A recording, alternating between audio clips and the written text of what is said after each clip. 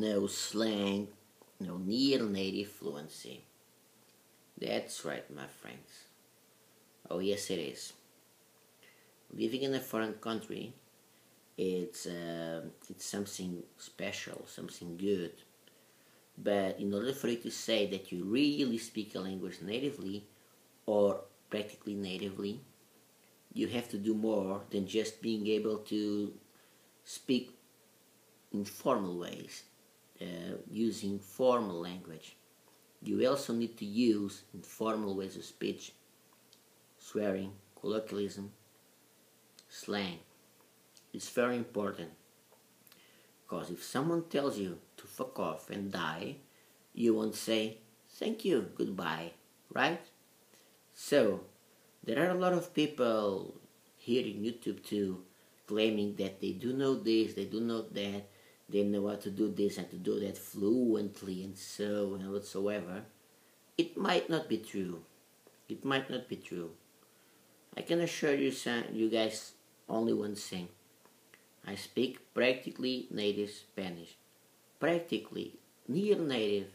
It's not exactly native because uh, where can you draw the line? I'm speaking this language natively.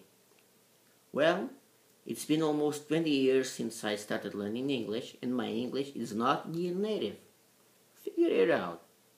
Figure it out. I thought it was till last year or something like that when I realized that it wasn't. So, my English is advanced, it's okay, but it's not near native. But there are a lot of people knowing much less much, much less than what I know in, about English in whatever that might be the language. And they say, I speak it natively. So if you say that you speak it natively, you need to know a lot of slang, colloquialism, proverbs, and whatsoever. Because they're part of the language, of the living language itself.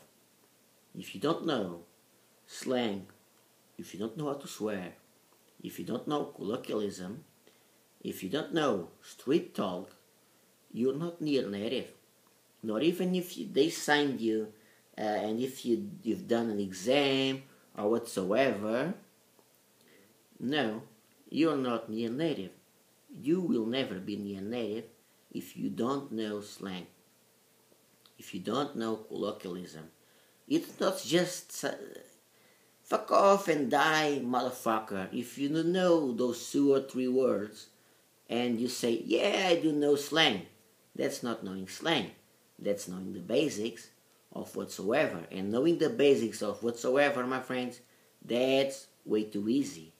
And that won't take you nowhere.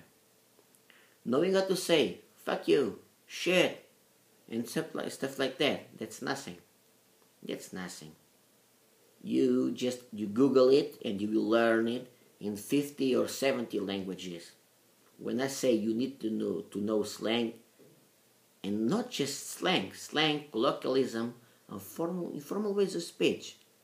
That's what you need to do if you really if you really say that you're near native. Because um, there are a lot of people there on YouTube saying, I am near native in this, I do this, I do that. I don't know exactly if that is true. I have my doubts. I have my doubts. Um, I have my doubts. There are several polyglots there. Um, the thing is, people look at what they want to see. That's a human condition. Everyone looks at Mike Campbell, Kempalika Yeglusika. Everyone looks at Stuart Jay Raj. But they live, they live there, goddammit. What's so special about being near native when you've been living, living in a country for uh, my Mike Campbell, I don't know, but uh, Stuart Raj, like 15 years or something like that. What's so special about speaking a language natively? Nothing, nothing at all. Any devoted, devoted polyglot will do it.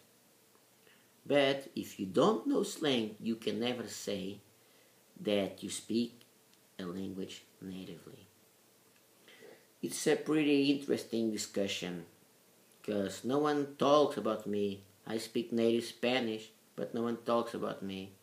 But everyone talks about Glossika because they love him so much. Well, what can I say? What can I say?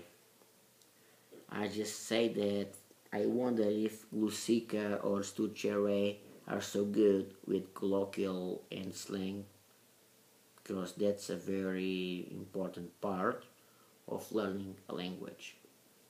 So you don't forget about this. See you guys then.